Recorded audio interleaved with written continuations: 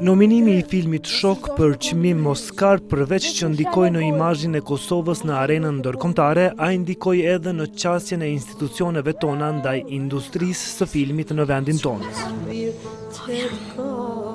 Në mbledhjen e sotme të qeverisë së Kosovës është miratuar një fond shtesë prej 250.000 eurove për Qendrën Kinematografike të Kosovës në funksion të subvencionimit të projekteve filmike për vitin 2016, me dhënien e shumës prej 250.000 eurosh, buxheti i QKK-së për herë të parë do të shkojë në 1 milion euro. Me këtë rast, Ministri i Kulturës, Kujtim Shala, tha se QKK-ja tashmë ka krijuar një standard të ri në industrinë e filmit në vendin tonë. Shuma e kërkuar në dakordim të plotë me kryeministrin dhe me ministrin e Financave do të merret nga fondi rezervë i Qeverisë së Republikës së Kosovës.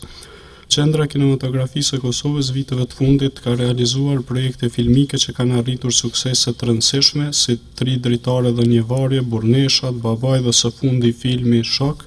i cili ia hapi rrugët filmit tonë dhe rangoi në mesin e veprave më të mira të industrisë së filmit botëror.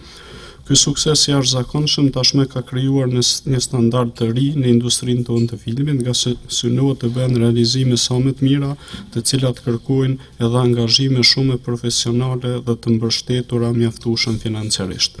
Ky lajm u prit mirë edhe nga i pari i Qendrës Kinematografike të Kosovës, Arben Zharku, i cili tha se kjo rritje e buxhetit do të ndikojë direkt në prodhimtarinë e filmit në Kosovë. Po definitivisht është një lajm shumë i mirë për filmbërësit kosovarë, të cilët e kanë dëshmu me punët e tyre vitet e kaluar që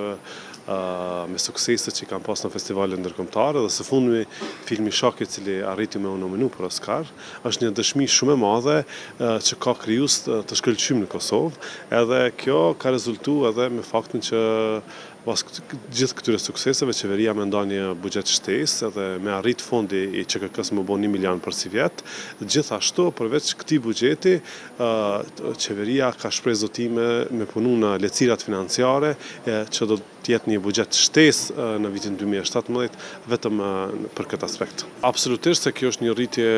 mjaft e madhe, domethënë nga shtatëqind e pesëdhjetë sa ka qenë e planifikume, tash është një milion, Dyqind e pesëdhjetë mijë euro janë mjaft mjete për prodhimin e shumë projekteve filmike në Kosovë. Po ashtu, Ministria e Kulturës në koordinim me Ministrinë e Financave ka filluar punën për themelimin e një fondi për industrinë e filmit dhe lehtësirat financiare nëpërmjet të cilit Kosova synon të futet në tregun ndërkombëtar të filmit në vitin dy mijë e shtatëmbëdhjetë, Ky fond ka për synim që të përfitojë vëmendjen e kinematografisë botërore dhe që nëpërmjet tij Kosova të garantojë lehtësira financiare për produksionet e huaja filmike të cilat do të vijnë në vendin tonë për realizimin e projekteve filmike.